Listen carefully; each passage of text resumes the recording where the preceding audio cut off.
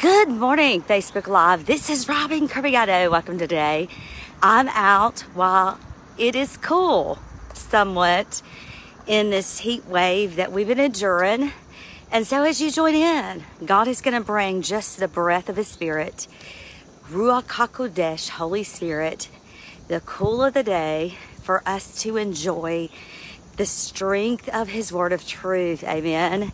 So as you join in from this on this hot day, you be ready to feel Ruach HaKodesh, the Holy Spirit. Amen. Hey, Katie Higgle, God bless you. Thank you for joining in. Hey, Ashley, thank you for joining in. And if you have not seen the prophecies that I put out about reward time, and I see other people, join, oh, Sherry, I think that's you, Sherry, and Suzanne. I don't have my glasses on, but go and I think it's Liz. I can't tell, but thank y'all for joining in. It's so, oh, there's Teresa Chapel. There's my spiritual daughter. Oh, I love you, Teresa. I put up your picture that you drew of me yesterday. Oh, thank you. I love you all. God bless you. So awesome to have you on here. And as you join in, and I, I apologize because I can't see everybody's name, but thank y'all for joining in. And so if you have not seen, okay, the reward prophecy that God had me put up yesterday, I copied and pasted it to put it up again today. Thank you, Teresa, to put it up again today on a post. And so yesterday, y'all know that I usually do, I hear the Father saying on Fridays. Well, yesterday, Holy Spirit started me up and told me to put I hear the Father saying out. And four times in that post, he said, it is the time of reward. He was talking about reward four times and even said, it is the time of reward. And I'm telling you, saints, as we get closer to Feast of Trumpets, Yom Teruah, on the festival calendars of the set appointed times of God, which on the civilian calendar, it is not in the Bible, but the civilian calendar of the Jewish calendar, they have Rosh Hashanah, the new year. And so I'm telling you, I am beyond expectant. Hey, Kimberly, I am beyond expectant knowing that God is going to do Ephesians 3:20 because it is a set time of reward. Well, after I did that prophecy yesterday morning, within just a few minutes, I get this email, and the email on my Robin at godsfirewall.com site says, Robin, it is reward time. And it was, I think, from Publix grocery store. We shop at Greenwise, and Greenwise is also a Publix grocery store. Well, I was just like, that is crazy because God just had me post that it is the time of his reward. And I just kept feeling it this morning in relation to, oh, I thought someone was behind me. You know what? Someone is behind me. God's glory is our rear guard. That's what I was feeling. He goes before us and his glory is our rear guard. Amen. And so it just keeps coming up to me, saints. And so let me give you the legal aspect of this. And in the new book, The Forbidden Fruit, The Spiritual Disease, there is a lot of contract law. There is some criminal law to prove intent, mens rea. And there is also some wills, trusts, and estates law. So God is really bringing in my law degree in that, unpacking the word in relation to uh, contract, wills, trust, and estates, and intent, and the power of intent. So watch this. This is so powerful. God kept telling me, and also the other day, as I put in my post today, I saw, I think I was scrolling through something in my memories or something, whatever it was, and it said 1166. And I was like, wow, or it must have been on my, a receipt. And I was like, wow. And that number just stayed in my heart. And I posted about when I've lived at different locations that had Eagle on the street name. The first Eagle place I lived was 1111 Eagle Drive. And God told me then in 2007, He said, Robin, that 1111 is the gift of prophecy in your members, and you're going to walk in that anointing in a double portion. And five years or four years later, he had me start God's Bible School of the Prophets in 2011. I, it just hit me in 2011. And we had moved in that time to another city on Eagle Point Road. And so Eagle Drive was flat, it was the valley. and I was molting. I said that was my molting time. And if you haven't seen my molting uh, post in relation to an eagle, I'm going to post that again today. So eagles melt in the valley, and that's when oil, this dark oil, seeps out of their feathers, out of their body, and that represents sin coming out of us. And it covers them and it weighs them down and it keeps them from being able to fly. They go crazy. Talking about beat the heat. And oh, before I forget, hey, Miss Donna, I love you. Before I forget, I'm going to bring in something about beat the heat again. And also, there have been comments on my YouTube channel. If y'all are not on my YouTube channel, you'll see comment, a comment put up by Jennifer, as I mentioned yesterday in yesterday morning's video, about this heat is doing something to all these drivers that are, some people that are driving this heat is just really making them just insane, do insane stuff. Okay, and so we need to pray, but you also need to watch your driving. And as my dad taught me as a young girl, my dad taught me as he was teaching me how to drive, he said, Robin, you have to be an offensive driver. And I said, okay, what does that mean, Dad? He said, you have to, oops, sorry, sorry. You have to expect that other people are not going to do the right thing. And they might run into you, they're going to pull out and that's just the way he always taught me to drive. And so sometimes when Rich is driving, you know, I just feel it. I sense it. And I'll go, Rich, this person's about to pull out in front of you. Just watch out. And sure enough, they do that. And you really need to be an offensive driver right now so that you kind of anticipate that people might do things, okay, in order that you are more circumspect and conservative in your driving so that you don't get in accidents with all these crazy people that are driving right now, okay? And so if you've not seen Jennifer's comment on my YouTube channel, the horrible wrecks that people she knows of, where they were in a head-on collision just a couple of weeks ago, and the mother and daughter passed, and another and other accident as well, and other people are getting in accidents. Yesterday, Samantha got in an accident. She's a friend of mine and I'm just in a log truck T-boned her. And that's what I was trying to explain yesterday morning happened with me. This big, huge, big truck. This woman that was wanting to get out of a parking lot and saw me turning in. As I'm turning in, she's trying to T-bone me. And I'm like, what? I'm telling you, Saints, I don't know what this heat is doing. And as Jennifer mentioned, it's spiritual too, and I totally agree with that. But you know what?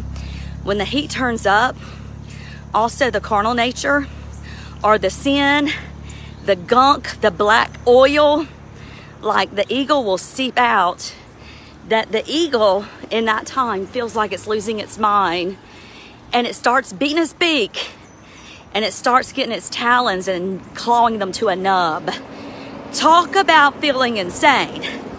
And let me tell you what, Eagle Drive was my valley my molting season.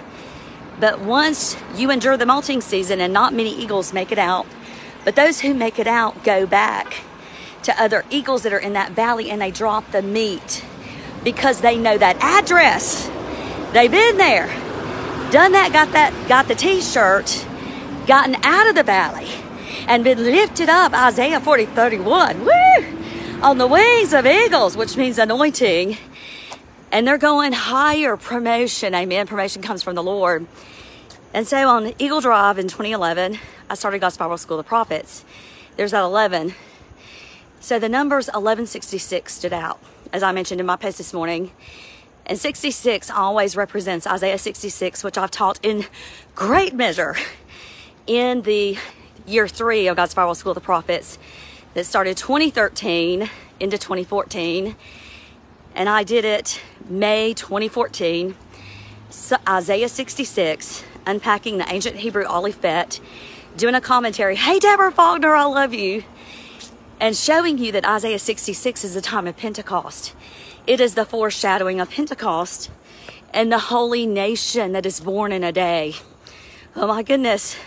God can do things swiftly and make it come boom. Hey, Janice, in a day, in less than a day, he can just boom, less than a millisecond.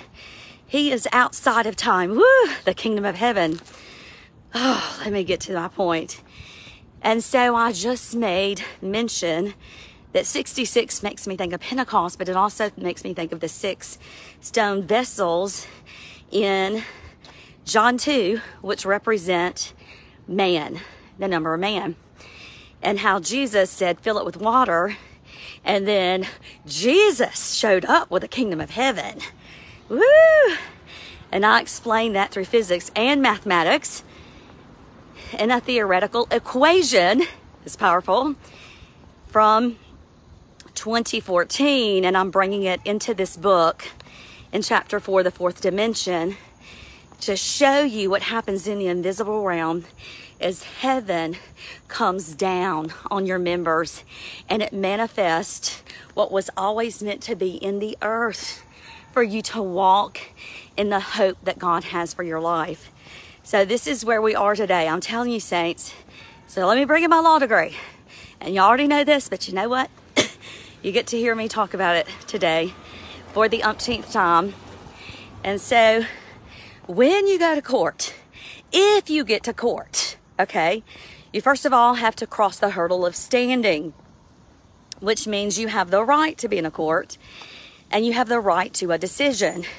You don't want to be in the court on the other side where you're dragged into court. So I'm talking about coming to the court and you have standing to have a decision for you. So let's look at tort law in relation to a decision for you for you to get what is due you. Okay? And so when we're looking at God's reward time, his acceptable year of the Lord, and I've been posting that for months, he keeps saying, Robin, this is the time of the acceptable year of the Lord, the day of his favor. He said, uh, Tell my people to be expectant, to be ready, to be willing to receive, and to enter in into it. And that's what the enemy's trying to hinder you from doing is perceiving it and entering it. So watch what you speak out of your mouth because you have whatever you speak. Whatever comes out of your mouth, you're going to have the fruits of your lips, the fruits of your words. And so we want to be speaking the word. We want to be speaking the word such as Hebrews 11:6 that God is a rewarder of those who diligently seek him. That is this time. This is the reward time. I'm telling you, saints, as we get ready to enter into Yom Teruah, which is next month on my birthday. Thank you, Jesus. Sometimes it falls on my birthday. Sometimes the other feasts fall on my birthday. Day of Atonement did two years ago or last year. So we are at the time of the feast, and Yom Teruah kicks it off for the fall feast. And I'm telling you, saints, it is reward time. So a decision for you. The judge sees the evidence and that evidence for us is Christ Jesus. It is mercy, and it is John 15 8, the fruits of righteousness that glorify the Father. As those fruits of righteousness, or we are John 15 2, pruned because we're bearing good fruit and we're pruned in order to bear greater fruit. That's where we've been sifted, pruned, which I go into extensively in Mindfulness Mind of Christ, explaining deliverance and explaining the printing process at the G protein coupled receptor level, which is responsible for your behavior and your perception. And so we've been in that pruning process massively leading up to Yom Teruah, and we are about to get a decision for us according to the righteousness of Christ Jesus in us, according to John 15, 8, as we present, present fruits of righteousness that glorify the Father, where he, Matthew 24, sees that we are a faithful watchman watching for the Lord's return and that we are giving out the supply according to the need from the storehouse of his provision given to us in our gifts, in our talents, in order to help others out as we are living this journey on earth, walking it out in fear and in trembling, working out our salvation. And in that place, he's going to see that we're faithful.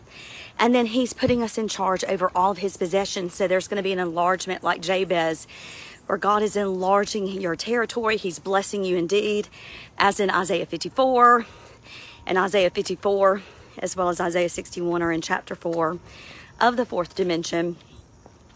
In Isaiah 54, where you have felt the reproach of the enemy through the pruning, sifting, now you're going to see the enlargement where he's lengthening your cords, strengthening your stakes, and he is causing the curtains of your habitation to be enlarged. That's what you're going to see right now. Oh my goodness. All I can tell you is just like that, the woman that felt like a widow and reproached and forsaken, and suddenly she's visited by God. And he says, Your master is your husband and more are going to be your spiritual children. And it's amazing that my spiritual daughter came on here today, Teresa Chapel. It's just confirmation. And I'm telling you, saints, we are at that time of enlargement and it is reward time. Be expectant, continue to walk humbly, continue to be circumspect, continue to guard your heart and your mind. And so we're going to end with part two, a beat the heat, like I did yesterday. And today I'm going to do my favorite thing. Woo! Barbecue. For those of y'all who know me, know that when the devil makes me mad enough, when he's messed with me or my family, or my friends, or the people that God's given me to watch over in our ministry, when he does it enough, I get to the barbecue time. And I've said for years, it is time for a barbecue. And people say, Where's that in scripture? Oh, it is in Psalm 74, 13 and 14. God cuts the heads of the dragon and he cuts and slices up the dragon in the wilderness, Leviathan, and he feeds them to the creatures in the wilderness. That's the barbecue verse. Well, guess what? My favorite barbecue sauce is sweet heat. Oh, yeah. Let me tell you what, when you beat the heat and you remain sweet, it tastes good. The enemy is sliced and diced and he is done away with. So let me tell you what, saints. When I get that sweet heat barbecue sauce on some ribs, on some pulled pork sandwich, ain't nothing better than some hot and spicy and sweet barbecue sauce. Let me tell you what that's going to make your hot time, your heat time, uh, 1 Peter 1 6 and 7. Let me just wait for this car. For the fiery trials and tribulations that you're experiencing, you remain sweet. You be exceedingly glad because heaven is on you. The garment of expressive praise is on you. Again, I keep saying, and you're going to see it it's already written in chapter 3, but you're going to see it again in chapter 4 for the forbidden fruit, the spiritual disease in the fourth dimension, where in Isaiah 61 3, the garment of expressive praise is the kingdom of heaven, and the cloak of heaviness is the world. Jesus came to lift the world off of us, heaviness, the things that are not our identity. And he came to bring heaven to us, that kingdom, so that we walk in it. And in that kingdom, there is God's taste. He tastes, oh, taste and see that the Lord, He is good and He tastes so sweet because of the sweetness of the fragrance of who He is. So I think about, and I've written about it in mindfulness or mind of Christ at the G protein coupled receptor, which half of them are the flavors of senses smell, taste, auditory, and uh, seeing in your body, or you have eyes, ear, smell, taste in your body. And how, when we eat, that 80% of our taste comes from what we smell. You hold your nose and you try to eat and you're not going to taste it. You keep your nose open and you see that session six of God's Firewall School of the Prophets, which eventually will be on Amazon because I've written all of those 36 workbooks and that's workbook number six. Back in 2012, you're going to see the nose and the anatomy of the nose compared in relation to the Spirit of the Lord as God unpacks Scripture with the anatomy of the nose and how the fear of the Lord keeps you from sin and the dimension of Holy Spirit with the fear of the Lord. So, one of the things in relation to us really being able to taste and know that God is good is the fear of the Lord, that dimension of Holy Spirit. And this is what God showed me. Oh my goodness, it's so amazing. So, this morning, as I'm walking, doing my Facebook Live, someone walks by me and they have this intense fragrance on and I smell it way after they're gone. I'm talking about way after. I smell it wherever they've walked. And I could not help but think of the presence of the Lord in us. That even when we've been around others and we leave their presence, that His presence lingers like a perfume around them. And they sense the Holy Spirit. Well, this is so powerful. Watch this. Hold on one second. Let me wait for this truck. Okay. So watch this because this is absolutely powerful. Oh my goodness. Let me tell you what. When you walk in the fragrance of heaven, others are going to perceive it. And it is going to be known and it you're going to be so sweet in the heat of your trial. You're to beat the heat and stay sweet. Woo! And like that sweet heat barbecue sauce, the enemy is to be sliced and diced. That basilisk, and if you haven't seen my basilisk teachings, which is a combination of Leviathan and divination, from Isaiah 59, watch it. It's on my YouTube channel. You're to stay sweet because as Isaiah 27 1, God unsheathes the sword of the Lord, which is different than the sword of the Spirit.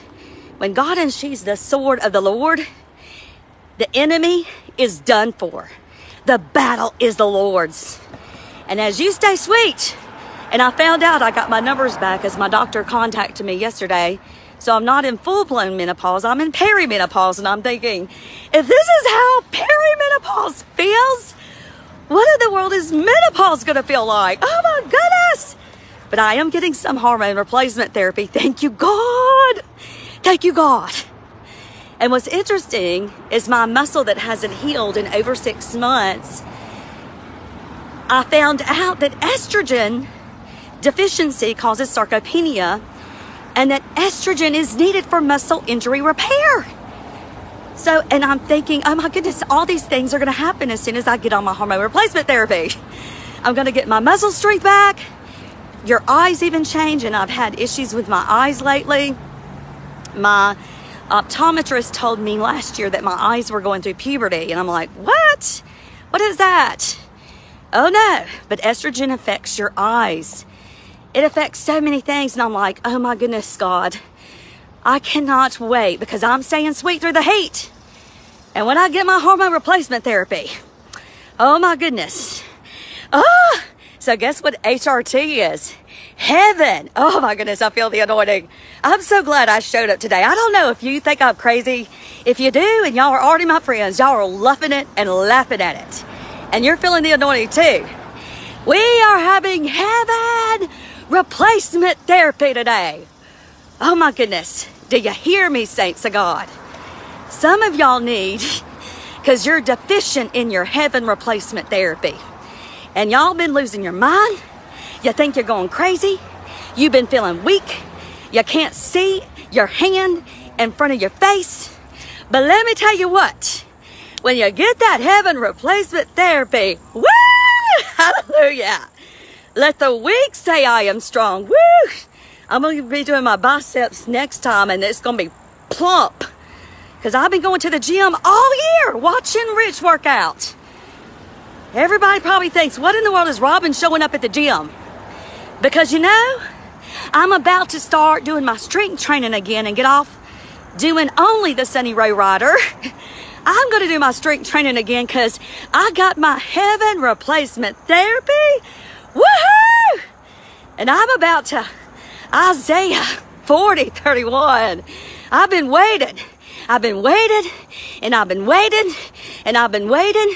I've been feeling the internal heat of the hot flashes, the heat of all these crazy people driving, trying to run into me fears within and fightings without, 2 Corinthians 7 5. But I've been staying sweet. I've been ha- I haven't been hating on them. I haven't been cursing them. I haven't been blasting them out of the water. I've been staying sweet. And I, all of those who have waited on your heaven replacement therapy. Are you staying sweet? That's the patience. You gotta stay sweet. and when you do, woo! Those that wait on the Lord, He shall renew their strength, and they shall mount up on the wings of eagles, and they shall run and not be weary. Woo! They shall walk and not faint, because they're going to be like an eagle going to the sun. S U N is a S O N. Woo! You're about to have your heaven replacement therapy. And when you have your heaven replacement therapy, it affects everyone. It lingers, it touches, it heals, it delivers. Amen. God bless you today as you have your HRT, your heaven replacement therapy. I love you. God loves you more. Amen. God bless.